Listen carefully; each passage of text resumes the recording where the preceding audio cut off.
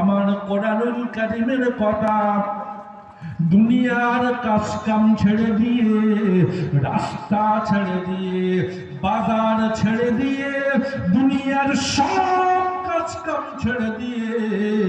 আমি আল্লাহ, আমার কোরআনুল কারিমের কথা অন্তরের কান দিয়ে তুমি শুনবে।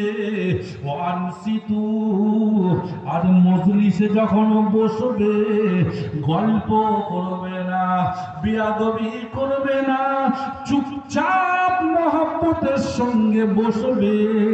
ওগো আল্লাহ, তুমি বলো তাহলে আমি লাভটা কি পাবো? আল্লাহ পাক রব্বুল আলামিন বলেন, লাআল্লাকুম তুরহামুন। ও দিনাজপুরের লোকেরা, আজ তুমি বাড়িতে অশান্তির আগুনে দাও দাও করে জ্বলছো।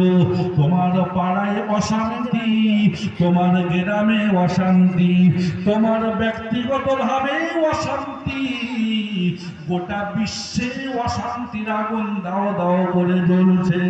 ফিলিস্তিনের বাইতুল মুকাদ্দাসে অশান্তির আগুন দাও দাও করে জ্বলছে।